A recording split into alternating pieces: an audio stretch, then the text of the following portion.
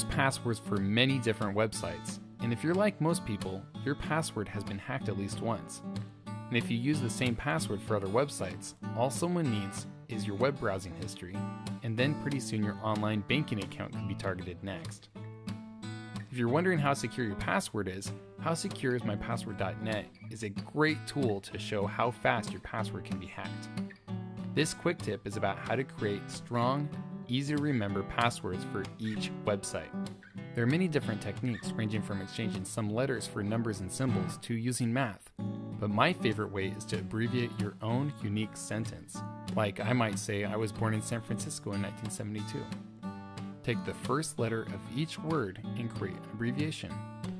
I was born in San Francisco in 1972. Or how about, quick tips are fun to watch? Becomes, quick tips are fun to watch. The great thing about using this sentence is that you always have at least one uppercase letter, lowercase letters, and a symbol. Add your favorite number to get all your bases covered, and you have an easy to remember, strong password. You can use this technique with any phrase. See? Okay, but what if we want a different password for each website? Well, all you need to do is take the name of that website, let's use Twitter for this example, and abbreviate that and add it to the front, end, or my favorite place is right before the number. So my original password becomes I was born in San Francisco in 1972, T for Twitter, 3.